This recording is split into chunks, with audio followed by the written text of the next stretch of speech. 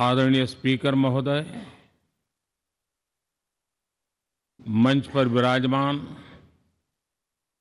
सभी वरिष्ठ महानुभाव और 140 करोड़ देशवासियों के प्रतिनिधि, सभी माननीय सांसदगण, आपको और देशवासियों को गणेश चतुर्थी की अनेक अनेक शुभकामनाएँ।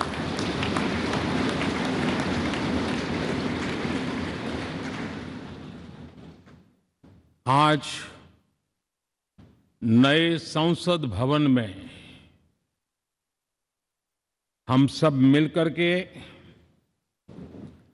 नए भविष्य का श्री गणेश करने जा रहे हैं।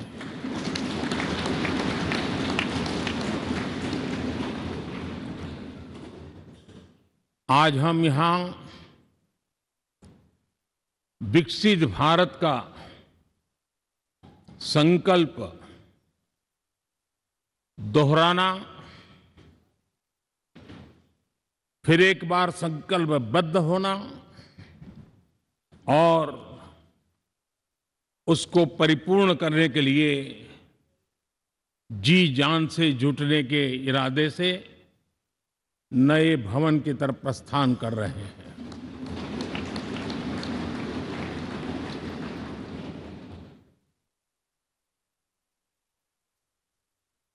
सम्मान्य सभागृह, ये भवन और उसमें भी ये सेंट्रल हॉल एक प्रकार से हमारी भावनाओं से भरा हुआ है। हमें भावुक भी करता है और हमें हमारे कर्तव्य के लिए प्रेरित भी करता है। आज़ादी के पूर्व ये खंड एक प्रकार से लाइब्रेरी के रूप में इस्तेमाल होता था।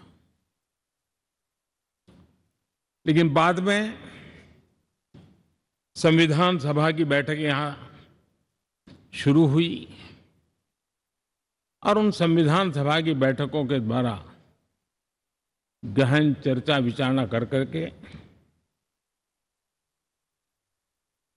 हमारा संविधान यहीं पर आकार लिया। यहीं पर 1947 में अंग्रेज़ी हुकूमत ने सत्ता हस्तांतरण किया। उस प्रक्रिया का भी साक्षी हमारा ये सेंट्रल हॉल है। इसी सेंट्रल हॉल में भारत के तिरंगे को अपनाया गया। हमारे राष्ट्रगान को अपनाया गया। और ऐतिहासिक अवसरों पर आज़ादी के बाद भी सभी सरकारों के दरमियान अनेक अवसर आए, जब दोनों सदनों ने मिलकर के यहाँ पर भारत के भाग्य को घड़ने के पर विचार किया, सहमति बनाई और निर्णय भी किए। 1952 के बाद दुनिया के करीब 41 राष्ट्राध्यक्षों ने इस सेंट्रल हॉल में हमारे सभी माननीय सांसदों को संबोधित किया है।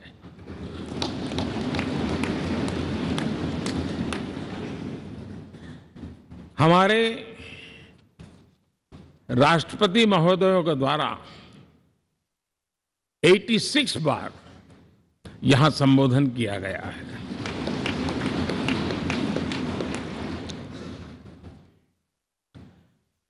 बीते सात दशकों में जो भी साथी इन जिम्मेवारियों से गुजरे हैं, जिम्मेवारियों को संभाली है, अनेक कानूनों, अनेक संशोधन और अनेक सुधारों का हिस्सा रहे हैं। अभी तक लोकसभा और राज्यसभा ने मिलकर करीब करीब चार हज़ार से अधिक कानून पास किए हैं।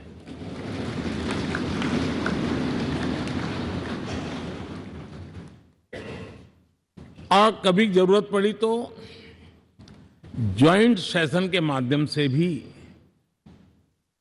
कानून पारित करने की दिशा में रणनीति बनानी पड़ी और उसके तहत भी दहेज रोकथाम कानून हो, बैंकिंग सर्विस कमीशन बिल हो, आतंक से लड़ने के लिए कानून हो, ये संयुक्त सत्र में पास किए गए हैं।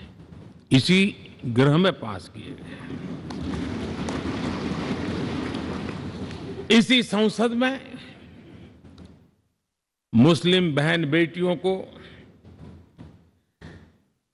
न्याय की जो प्रतीक्षा थी, शाहबानो केस के कारण कुछ उल्टी पाट, गाड़ी उल्टी पार्टी पर चढ़ गई थी। इसी सदन ने हमारी उस गलतियों को ठीक किया। और तीन तलाक विरुद्ध कानून हम सबने मिलकर के पारित किया।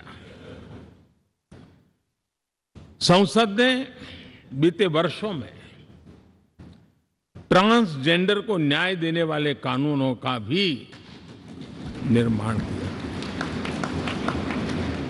इसके माध्यम से हम ट्रांसजेंडर के प्रति सद्भाव और सम्मान के भाव के साथ उनको नौकरी, शिक्षा, स्वास्थ्य, बाकी जो सुविधाएँ हैं, एक गरिमा के साथ प्राप्त कर सके, इसकी दिशा में हम आगे बढ़े। हम सभी ने मिलकर, हमारे दिव्यांग जनों के लिए भी, उनकी जरूरतों को देखते हुए, उनके एस्पिरेशंस को देखते हुए ऐसे कानूनों के निर्माण किया जो उनके लिए उज्जवल भविष्य की गारंटी बन रही हैं।